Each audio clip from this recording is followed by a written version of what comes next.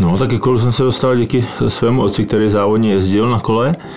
Jezdil jako silniční závodník, byl velice dobrý v kopcích, takže v té době v těch 70. letech měl obrovské zkušenosti uh, cyklistikou, samozřejmě na profesionální úrovni, i když, te, i když v tehdejší době uh, byla jako poloprofesionální úroveň uh, ve východním bloku, takže tatínek chodil do práce na 4 hodiny, jestli se nepletu z vyprávění, a 4 hodiny jezdil na kole. Takže svou pracovní dobu trávil takhle, jako kdyby poloprofesionál.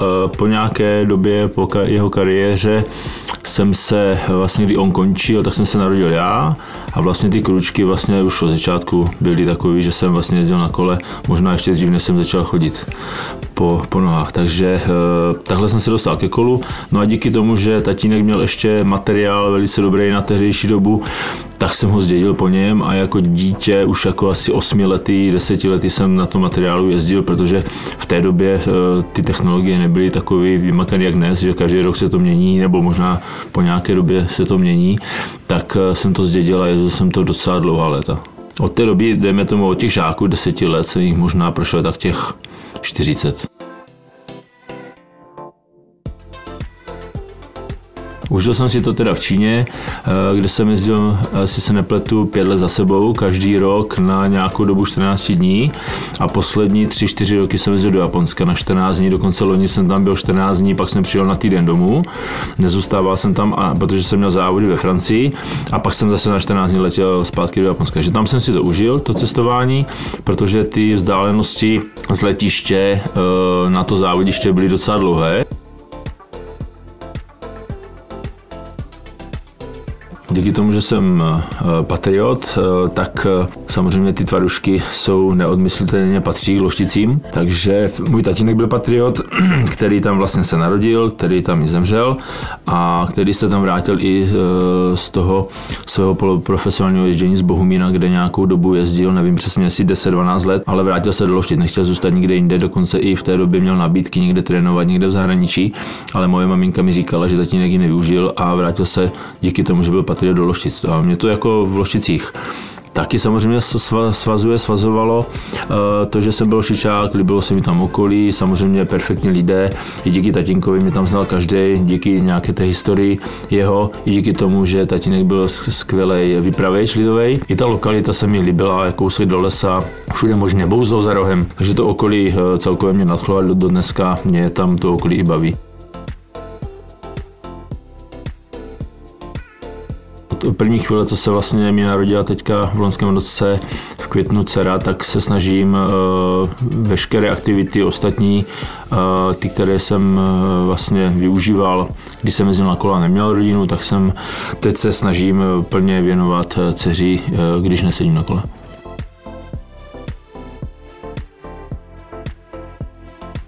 Je to spousta náhod asi, které se sešly. Asi bych řekl to, že za prvé ta konkurence není to jako na uh, mou obhajobu, že proto jsem vyhrál, ale i ta konkurence není taková, jaká bývala před, dejme tomu, 20 lety.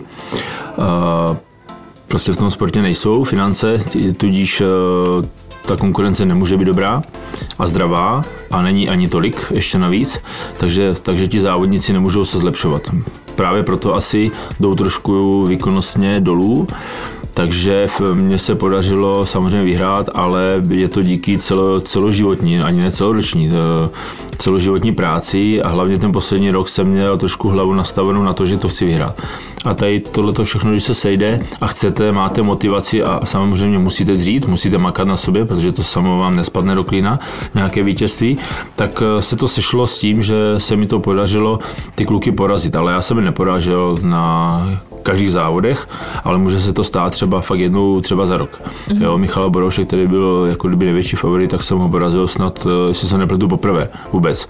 Ale bylo to opravdu díky tomu, že i ten Michal Boroš ne, nebyl v takové kondici, jaké býval, když jezdil v Belgii, protože ta výkonnost jeho spadla, proto se musel vrátit do Čech. No a ta konkurence celkově je trošičku horší. Celá ta kauza trvala zhruba, jestli se nepletu, tři měsíce. Samozřejmě včetně dokazování, eh, že jsem neudělal nic vědomě nebo že jsem v tom nevině. Eh, teďka jsem se to samozřejmě dozvěděl, abych pravdu řekl, dvě jednání, které vlastně probíhaly u stolu, tak byly, myslím, že první jednání bylo kolem tří hodin, druhý asi tři a půl.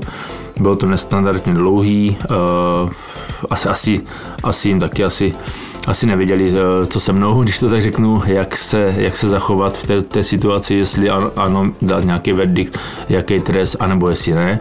Myslím si, že mm, díky tomu, že jsem takový, eh, že mluvím hodně věcí na plnou hubu, tak eh, pro ně bylo přívětivější mít ten trest dát, abych, abych už nejezdil, ale nepodařilo se mi prokázat to, že jsem v tom nevinně, protože Eh, po třech měsících nebo po čtyřech měsících, jestli se nepletu od toho, údajný, od toho údajného odběru, jsem eh, mám pocit, že poslední den v úterý, než jsem šel na disciplinární komisi ve středu, jsem dostal video, kde jsem vlastně rozporoval ten průběh té dopingové kontroly, který nebyl v souladu s pravidly to se mi samozřejmě podařilo, ale e, záhadně jsem neměl druhé video, kde jsem tvrdil to, že e, nějakou dobu 5 až 10 minut nebyl vzorek pod absolutní kontrolou komisařů a vůbec nikoho.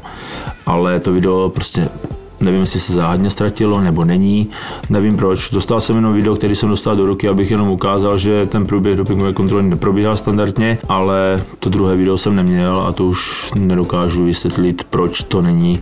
Byť na hotelovém pokoji, eh, pardon, pokoji eh, na, na hotelu byly všude kamery. To není v mých silách, abych eh, nějakým způsobem si ještě nahrával přesně, jak probíhá dopingová kontrola a co se má dít, co se nemá dít, to mají vidět komisaři a ti měli plně, plně vlastně eh, odvíjet svou práci a tu neodvedli. Eh, přitom samozřejmě jsou dva, takže tvrdit budou, aby byli v pohodě, eh, že všechno bylo v pořádku.